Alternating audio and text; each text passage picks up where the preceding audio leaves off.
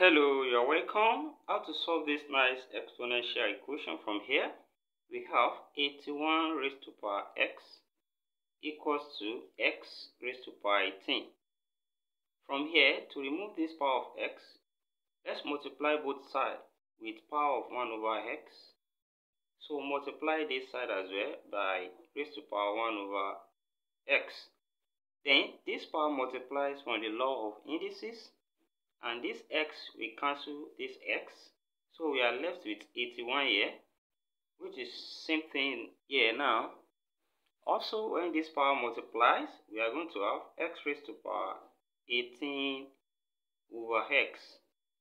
Then in the next step let's remove this power of 18 here and uh, we multiply both sides now by 1 over 18 so raise both sides to power 1 over 18 so raise this side as well to power 1 over 18.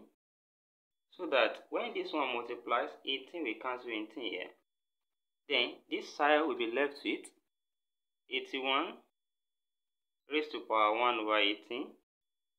Then which is equal to x raised to power 1 over x from here.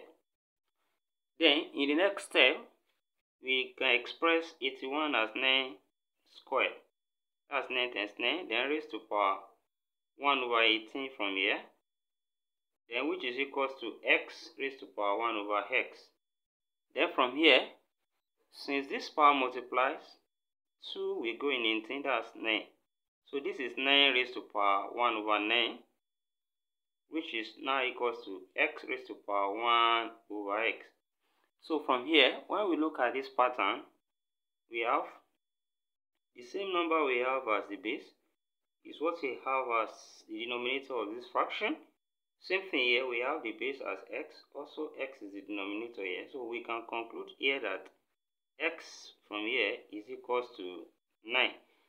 Then to use another approach for this, when we have 81 raised to power x equals to x raised to power 18 then from here, we can decide to take the log on both sides. Then the log on this side is log 81 raised to power x, which is equals to log x raised to power 18 from here. Then, here we apply the power law and this x can be taken to the back and we have x log 81 which then equals to 18 log x on this side.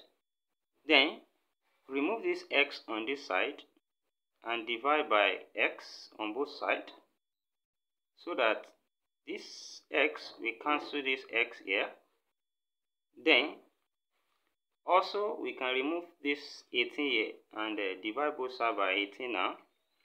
Then divide both sides by 18 as well.